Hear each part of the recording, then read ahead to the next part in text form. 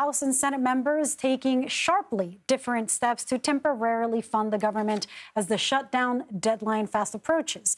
Today, the House is voting on whether to advance four spending bills for the Departments of Defense, State, Homeland Security, and Agriculture. Meanwhile, senators are preparing and poised to vote on their own bipartisan stopgap plan this week. While President Biden is blaming extreme House Republicans on the impasse, House Speaker Kevin McCarthy is blaming the president. Let's listen. I'm prepared to do my part. But the Republicans in the House of Representatives refuse. They refuse to stand up to the extremists in their party. So now everyone in America could be forced to pay the price. The president can really come down to this and make sure government stays open. All he has to do takes uh, some action on the border to secure it. We're going to pass the CR that deals with it. He can say he wants to do something with it. I'll join with him, and we'll keep government open, and we'll finish out the rest of that. CBS News congressional correspondent Scott MacFarlane joins me now from Capitol Hill. As you see, he's joined by Republican Congressman Marc Molinaro, who represents New York's 19th congressional district. Scott, what's the latest? Well, we are getting close to a deadline, a deadline that has pain in the number of furloughs of federal workers, the number of paychecks that can get canceled, and possible delays and backlogs processing visas, passports, veterans benefits. Congressman Marc Molinaro, New York's 19th district, in the room having discussions with leadership.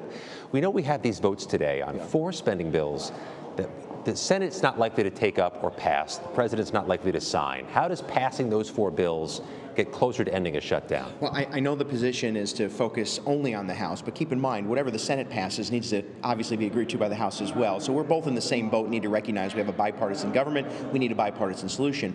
But we've worked these last few days uh, to move those four appropriations bills today. Uh, we're hopeful that we have the votes. We think that we may uh, and do, but, but success you know, breed success.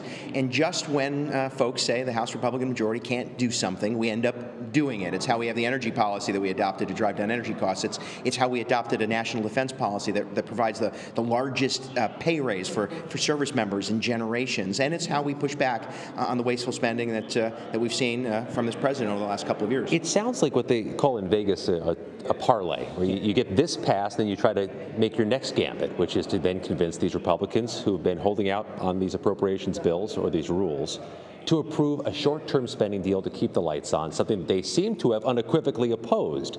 How do you get them to change their minds inside your party? Well, first we spent a lot of time listening, which I've, I've done. And, and, but, but here's the thing. What they and we want is the strongest, most conservative message we can send to the President and Senate, that we want to put our best foot forward, that this government spends too much money, is borrowing away our future. We need to rein in the size, scale, and scope of the federal government. As we do that, we think that we also garner support for continuing to do that. Adopt these appropriation bills, move forward with a short-term funding mechanism that allow us to adopt the next set of uh, appropriations bills. All of it critically, critically important. Remember, when, when the Democrats controlled both houses of Congress and the, and the White House, trillions of dollars were spent, uh, pushed into this economy that fueled inflation. We're saying that you need to right-size the federal government, demand efficiency, and focus on border security.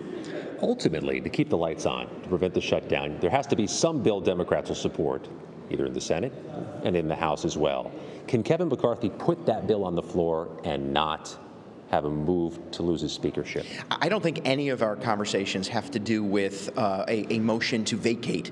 Uh, um, but that's I do, not coming up in the negotiating room. I, listen, there are people who say it, and certainly that's a, uh, that's a conversation point. But that's but we've been having really earnest dialogue about how do we build the consensus to send this conservative message forward? How do you rein in federal spending, confront a national debt, and secure the border? And what we saw, by the way, is the Senate now talking about maybe a shorter term, maybe a cleaner, if you will, uh, CR that focuses uh, a little bit more, may have more likely to pass the likely to pass the House. But but I would say I I challenge any Democrat in the House or Senate or the President to tell us why we can't uh, move these appropriations bills adopt a short-term uh, uh, funding mechanism to ensure we can keep the work going and not do border security. We have to include border security. Which is a part of the House spending bills. But lastly, if the Senate comes through with some short-term deal just to keep the negotiations going, you confident that'll actually get to the floor for a vote in the House. I'm confident that moving these appropriations bills and continuing the motion and the momentum will breed the kind of faith in each other and goodwill with the American people to, uh, to, keep, to keep the lights on. That's the focus, that no one benefits from a government shutdown. Marc Molinaro, New York's 19th District, has been in the room for these leadership and negotiations and will likely stay in the room yeah.